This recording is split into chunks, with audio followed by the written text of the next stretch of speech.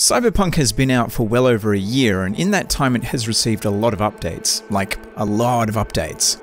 I'm not talking about sexy new content either, such as new weapons and vehicles.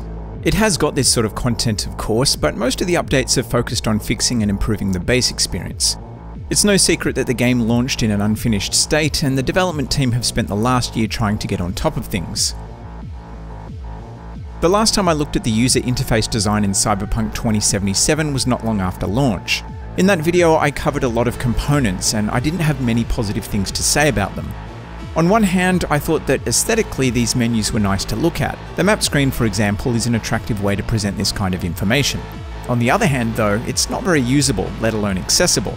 If we use the map as an example again, while being pretty to look at, it's hard to find what you need because of the choice of colours, icon design, and just generally how busy the layout is. With update 1.5, the largest the game has seen so far, CD Projekt Red has made significant changes to all areas of the game. Most interestingly, at least for the purpose of this video, are the changes they've made to the UI, and specifically to the interactive map. This is a component specifically mentioned in the patch notes, and given that it was one of the key areas that I highlighted in my original UI analysis, I wanted to revisit it.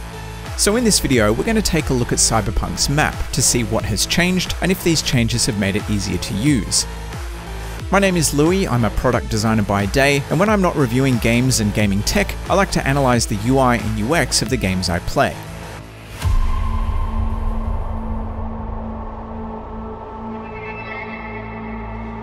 Overall, I think this is one of the most beautifully designed interactive maps I've ever used. It's modern, it's stylish, and it's visually striking. It looks like it was ripped straight out of a Ghost in the Shell anime. Functionally though, it had a lot of problems, and as one of the game's central interfaces, these shortcomings were made obvious pretty quickly. Before we get into the changes and what this screen does and doesn't get right, I wanted to quickly outline what an interactive map is and the problem it solves for players.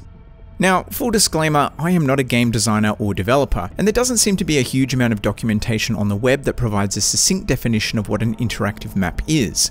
This is simply my best attempt to describe what this type of UI is and what it does. If you are a game dev or designer and want to correct me in the comments on any of the following, please go right ahead.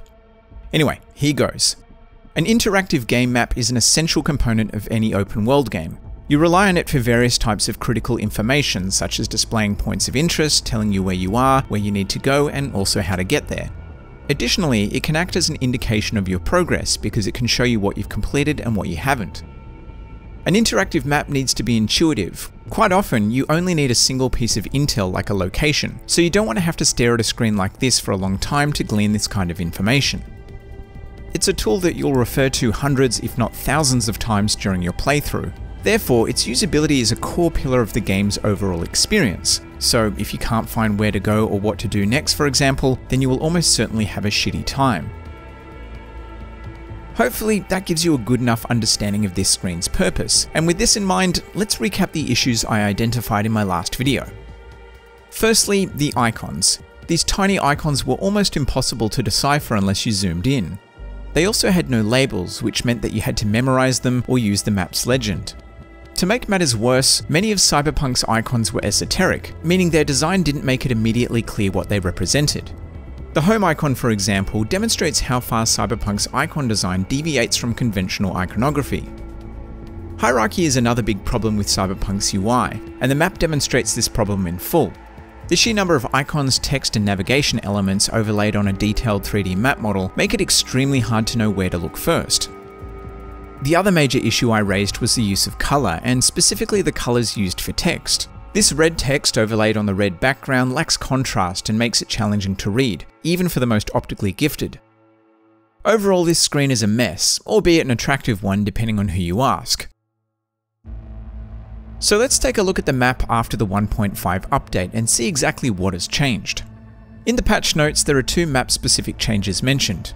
At the very top of the UI list of changes is various map usability improvements related to resizing icons, adding new tooltips and filters. This includes a dynamic filter based on zoom level as well as a custom filter which can be configured by the player. The dynamic filter is an excellent idea that does a good job at mitigating the issue of clutter. It works much in the same way that Google Maps does. The more you zoom in, the more information the map reveals, and when zoomed out, side missions and other less critical information disappears. I think this could have been taken further still though and provide labels and other descriptive text when zoomed in, again like Google Maps does. The treatment of the filter menu is a significant improvement over the old Legend. It looks like an actual navigation panel now, and it stands out clearly from the rest of the screen. The text inside is much more legible and the navigation options are clear and understandable. The tooltips have received a similar uplift. The solid background, brighter border colour, white coloured text, and removal of superfluous navigation prompts all contribute to making these much more scannable. Icon design was something that I criticised in my original video. A lot of them were overly complex and difficult to make out on anything but a large 4K display. Thankfully, it seems like someone at CD Projekt Red agrees, and many of them have been simplified. These refined icons make them more recognisable and intuitive, and in tandem with the dynamic filter, it's much easier to tell them apart now. I still think they could stand to be larger, particularly because the dynamic filter does such a good job at hiding the less important ones when zoomed out. The new cursor is a win too. Its larger profile and transparent design means that it doesn't obscure items behind it like the old one did. The low contrast and legibility of navigation text was previously an issue due to the choice of colours used, and we again see some improvements here. The biggest change is the addition of a solid background colour behind the navigation elements at the top of the screen. These elements are more tightly packed together now as well as being underlined. The net result is a more defined set of options that stand apart from the rest of the UI.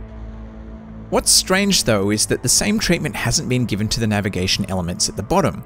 These are the tools that you use to interact with a map and should be the most prominent. There are fewer options in this nav now, which does make it less overwhelming, and it's possible that the drop shadow contrast has been slightly increased, but otherwise this component hasn't seen any significant improvement. Now, I just mentioned that there are fewer options in the bottom nav bar. These options haven't been hidden as far as I can tell, they've been removed entirely.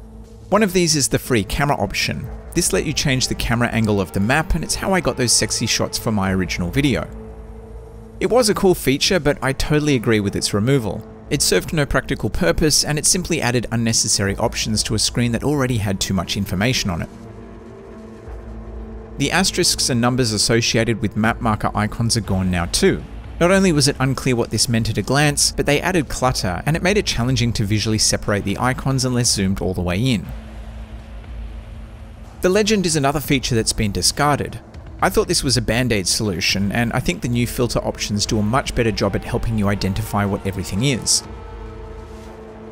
Now, the other map-specific change mentioned in the patch notes is the ability to see the progress if you're standing with a fixer. This is done by hovering over the fixer's icon to see the completed gigs.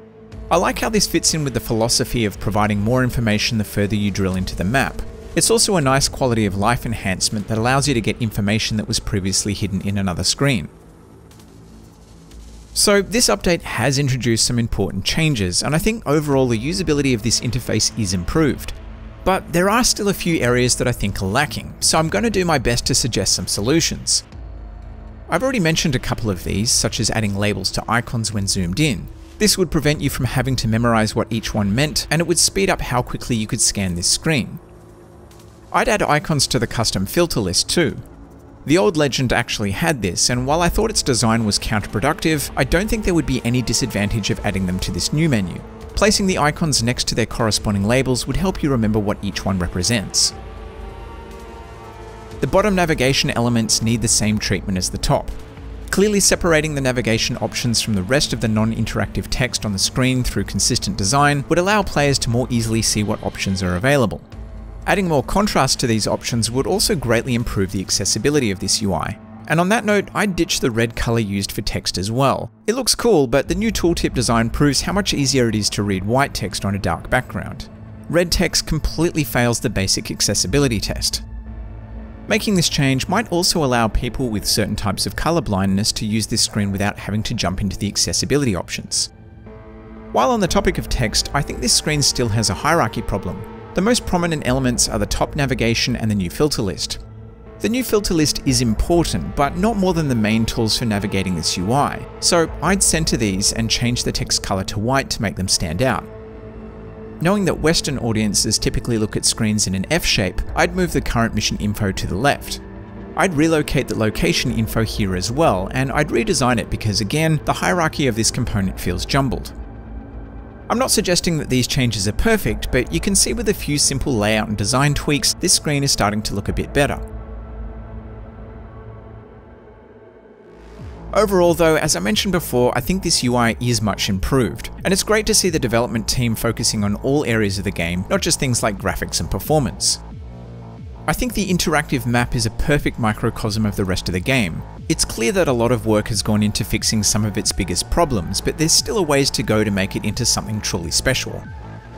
It's fascinating to see how this UI has evolved over time, and I'm just as curious to see what future updates will bring. Anyway, if you enjoyed this video, why not drop it a like, and of course a dislike if you didn't. If you want to find out more about how I make these videos and support the channel, head on over to the Patreon page. If there's a specific UI that you'd like me to cover, be it good or bad, drop your thoughts in the comments. But otherwise, thanks for your time.